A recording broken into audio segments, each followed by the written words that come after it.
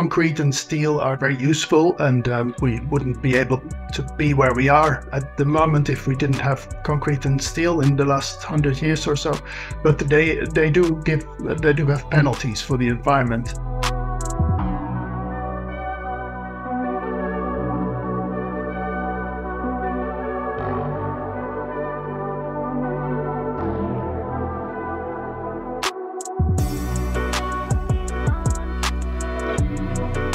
It's a small research group within the architectural practice, um, and its purpose is to um, to collaborate with people to study aspects on the periphery of architecture. Mycelium is basically the organism that um, flowers into mushrooms. Mushrooms have an underground uh, structure that is actually the organism, and it uh, it's very clever structure.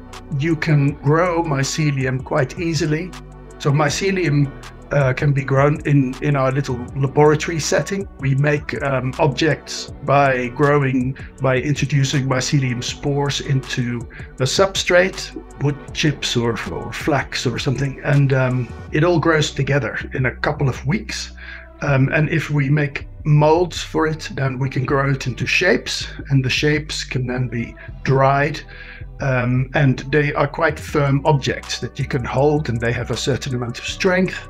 They have really good acoustic behavior. They can absorb um, sound and they have a fairly good fire rating to turn it into a proper construction material, where we have a long way to go. But as we showed in Clerkenwell Design Week this, this year in, in the summer in London, we made 82 blocks, uh, which we stacked and uh, we created objects of it, stools and um, a piece of wall and a table.